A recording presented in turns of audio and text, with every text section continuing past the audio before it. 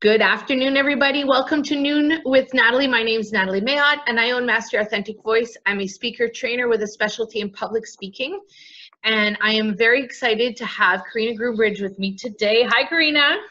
Hello, Nathalie. Okay, so I want to I want you guys to meet Carina. I want to tell you a little bit about her and what she does. Uh, Carina loves helping fellow mom bosses, so just like me, get over the mental blocks and to help them grow their business. She's a mindset and success coach and believes that no matter what has happened in your life so far, you can turn your dreams into reality. And when Carina's not mm-hmm. working, you'll find her chasing her three kids, sweating it out in an exercise class.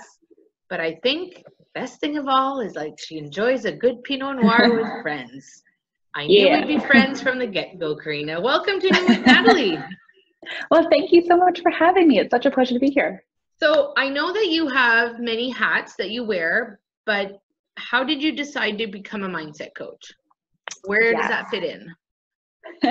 so um, if you look at my past it's like completely out of the blue you could say mm-hmm. uh, I, I studied for years um, to become a mechanical engineer and so that is my i have a degree in that okay. and I was just kind of like following next steps, next steps in that whole process. And I wasn't really sure when I was younger what I wanted to do. And um, so my parents promoted and said, okay, well, you don't know what you want. Keep like going keep the going, education yeah. route.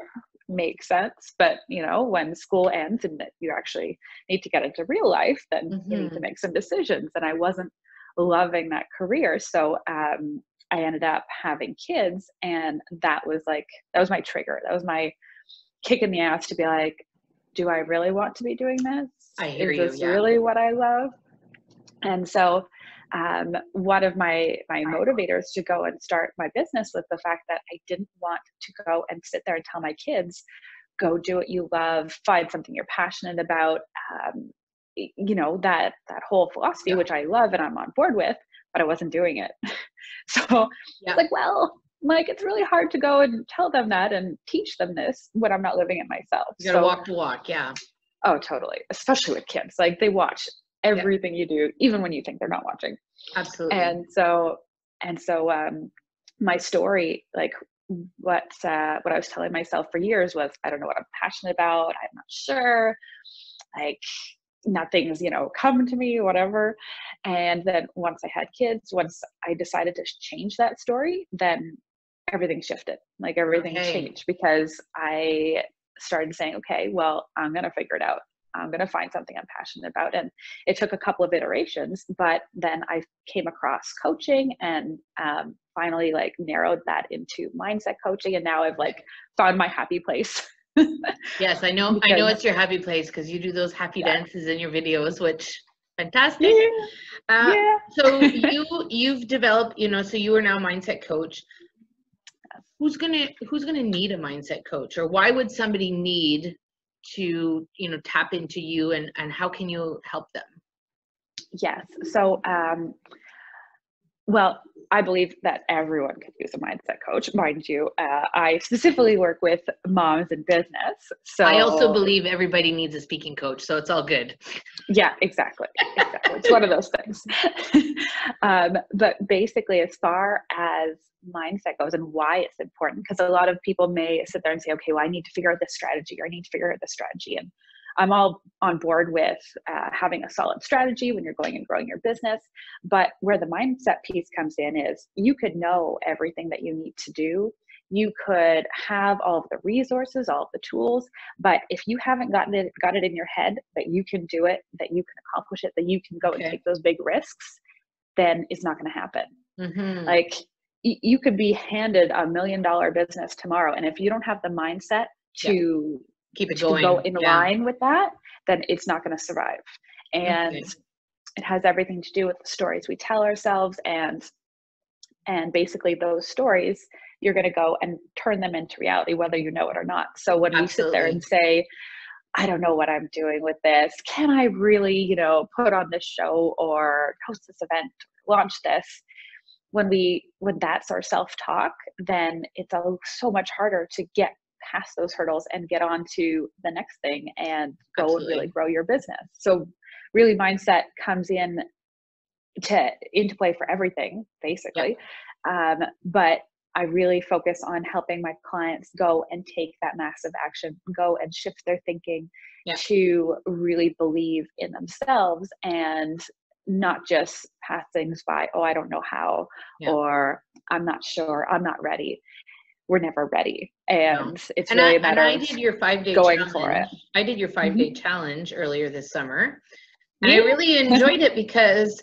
though some of the things were I think I knew them already, so it was kind of a mm-hmm. reminder. Mm-hmm. Some of it was validation, some of it was aha. And I agree with you that mindset is important, especially if you're a busy mom like us. So mm-hmm. just like you, I wear multiple hats and I know that you you you're now mindset coach, you have a corporate job, you have kids, you try and have fun yeah. too. so I have my strategies. What do you how do you juggle all how do you juggle all of that? Tell me. Yes, that is a good question. I actually get asked that a lot because um, many people online don't realize I uh, am actually still in my corporate job. Yeah. Um, and run my business, and you know, have three kids under the age of five, oh and a husband, and a house, and a yeah. dog. You know, all the things. And I do have some fun on the occasion. Good. Um, so, so really, for me, um, there there were two main things that I realized that I had to do to kind of make it all work. And um, one of them is being able to ask for help. Mm-hmm. This is something I was not good at at all oh, before. Oh, nice. And my okay, husband, yes. Yeah, my husband would make fun of me for it all the time because he'd say, like, can you please go and ask somebody, like, ask someone for help and, you know, just ask, like, stop trying to be stubborn and do it all yourself. So um, that was one part that I was like, mm, yeah, okay, need to. It's hard. It is hard though. It is hard it, to ask for help. It Absolutely. is hard. And it's a challenge, but um, I firmly believe that the the saying of "it takes a village to to raise a family" 100% true because yes. if you can't if you don't have any support system if you don't have anyone to go and say hey i need a hand or i need a favor whatever um, you're just making it so much harder on yourself and absolutely. and there's people out there who are like i want to help you like please let me help you because it makes them feel good and you know gives them that opportunity too. So that was one um, one thing that i had to come to terms with very early on and uh, as well saying no oh, i'm getting really good at saying no to things that aren't in line with my priorities and i know especially as a mom you feel like okay, well, I have to say yes to this. I have to go to this birthday party and this event and this event and this event. And so, what I've become a master at is going and saying, uh, no, I like this isn't aligned with my priorities. This isn't something that I'm going to devote yeah. my time to right now, and being okay with it. And it that applies to your social life, but it also applies in business too. Because if you're not focused in your business and you're like, oh, okay, there's this opportunity and this and this, and I want to take this course and do this thing, then you're just spreading yourself so thin that you're not actually mm-hmm. focusing in on the most important things. Absolutely. So I take that strategy and I apply it to my personal life, to my business life, and it has really, really helped me to just stay focused and stay clear on, you know, what are the next steps to get me to my goal. So I was going to ask you for two tips to share with our viewers, but I think you just shared them. Really, ask for help and say no. And those are really yeah. key ones. I I couldn't agree more. And it, it is hard. I think even as most, I think more as moms, it's harder to say no because we do want to. Mm-hmm. We become people pleasers in a way, and I know that I coach people on on the art of saying no, but in that diplomatic way that allows them to, you know, get where they want yes. where they need to go. So I, I completely yes. So now it's so um, true, and you don't have to be a bitch about it either. No, like, you can not. say no, no absolutely not. yeah, and I think um, we are we people expect, oh, and this isn't for anybody. It's not just for moms. I think there are expectations of people. You're expected mm-hmm. to be somewhere and to go somewhere, and you know, this year for Father's Day we had a gymnastics show, and I just said to my parents, "We're not making Father's Day." Just the way it is, and they didn't really have a choice. But it'll be another occasion to get together as family. So people are watching, they want to know more, they want to know more from you. How how do they get in touch with you? What is the best way? Yes. Uh, well, there's many ways. well, nowadays there's many ways, but what's your preferred way? Yes. Uh, so either Facebook Messenger, okay. um, Instagram Messenger, okay. Uh, through my website, which is okay. just carinagroombridge.com. And Perfect. I will make sure you have all those links. Absolutely. So We're going to include them in the bio. Yeah. Yes. Perfect. Perfect. Excellent. Well, I have nothing more to ask you. I mean, I think you've covered it all. You even gave us some tips. So I, I hope our viewers enjoyed that. Once again, uh, today, Carina Groombridge Mindset Coach was on noon with Nathalie. My name is Nathalie Mayat.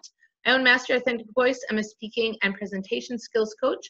If you're looking to improve your presentation skills or you're, you know, you have a big uh, public event coming up and you need to speak, make sure you reach out to me at nataliemayat.com. I'll be more than happy to support you in that. Whatever you choose to do today, have an awesome day, everybody. Carina, thanks again for being with me.